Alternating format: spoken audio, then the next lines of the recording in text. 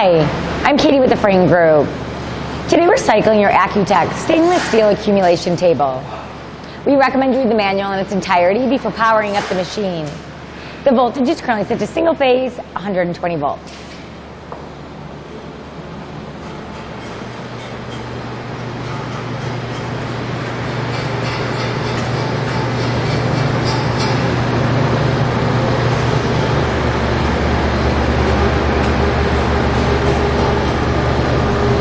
I'll now demonstrate the variable speed.